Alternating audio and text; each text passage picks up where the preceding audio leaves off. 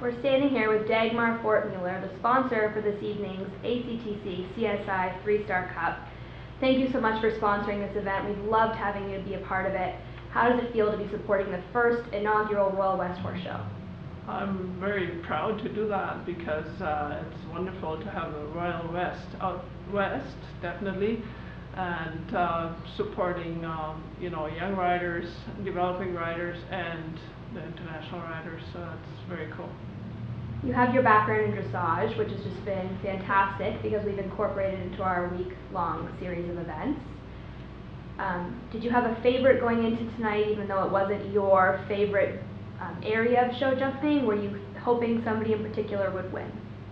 Well, I think if uh, John would have gone a little later in the class, he might have had the cup, but uh, um, it was very, very nice sport to see. Um, they were very close together and, and just fantastic rides.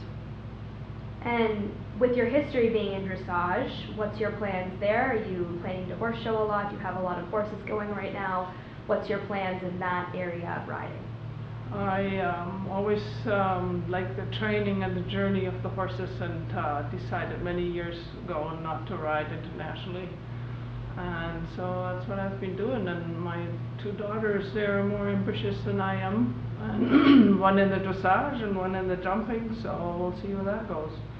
I qualified one of my horses uh, for uh, the Pan Am Games next year. Um, so we'll see how far we get.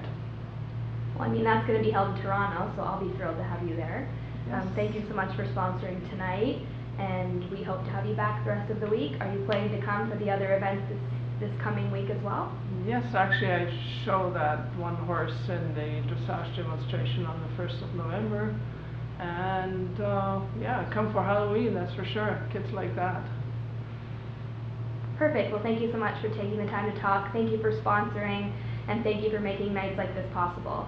Thank you. Yeah, was fun.